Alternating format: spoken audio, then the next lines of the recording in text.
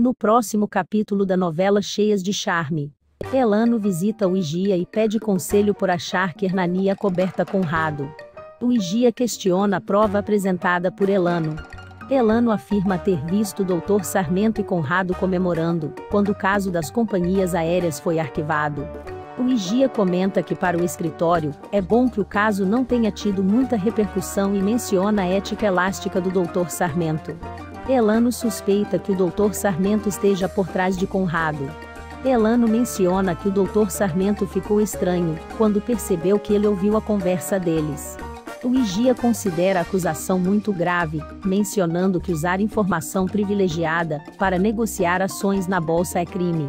Elano insinua que o Dr. Sarmento seria uma raposa por esconder por tanto tempo sua desonestidade. Elano questiona se o Dr. Sarmento seria uma raposa ou um tubarão. Penha fala Sandro, que é livre e joga na cara todas as tramoias dele. Penha enfatiza sua liberdade e independência, afirmando que sai com quem quiser, quando quiser e como quiser.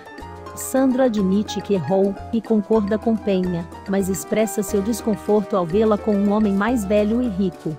Penha reitera que nunca se importou com dinheiro e valoriza o caráter das pessoas, destacando que busca honestidade e não riqueza. Sandro se defende dizendo que é honesto, mas Penha o confronta, lembrando de quando escondeu algo ilícito na casa do filho.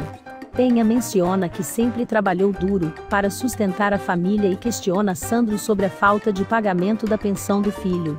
Sandro tenta minimizar a situação financeira difícil, mas Penha lembra que ele deve assumir suas responsabilidades, especialmente em relação ao filho.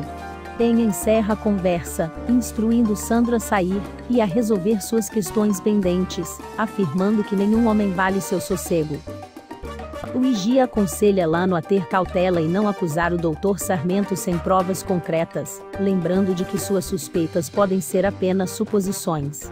Ela sugere que, enquanto ele não tiver certeza, é melhor não se envolver em brigas de tubarão, pois ele ainda é um peixe pequeno, e é mais seguro permanecer no cardume.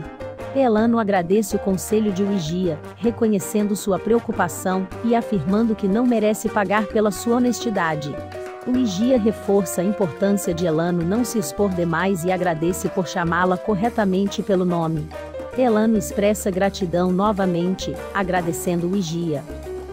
Ivone é contratada por Maslova e descobre que ela é sogra de Otto. Cida encontra Brunessa chorando, dizendo que está perdendo o bebê. Cida leva Brunessa para o hospital, mas ela perde o bebê. Chayenne recebe convite de Regina Casé. Fã diz a Fabian que gosta dele com Rosário. Inácio e Rosário se reconciliam. Fabian vai até buffet falar com Rosário. Rosário esconde Fabian no armário do buffet e tenta disfarçar pedindo para Inácio ir ao mercado.